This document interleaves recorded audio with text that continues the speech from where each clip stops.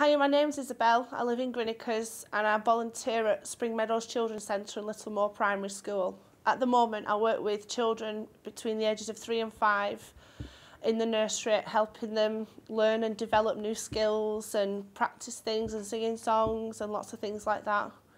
I love volunteering at the Children's Centre and at the school because of the way that they've helped me and given me a way of paying them back for all the help that they've given me throughout um, helping me bring my child up and getting me back to work and getting better education. Because of the volunteering, I've been given new opportunities and I've been able to try new things that I probably would never have tried before.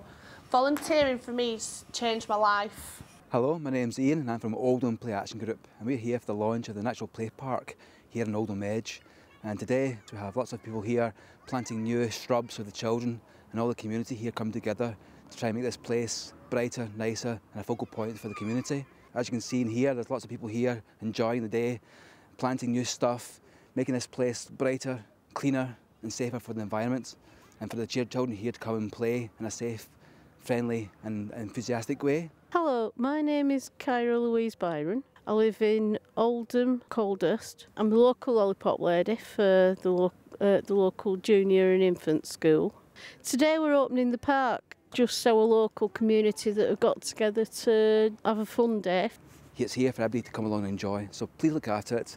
It's a, it's a fantastic opportunity for you to have uh, free natural play and it's here, it doesn't cost you anything, it's on your doorstep.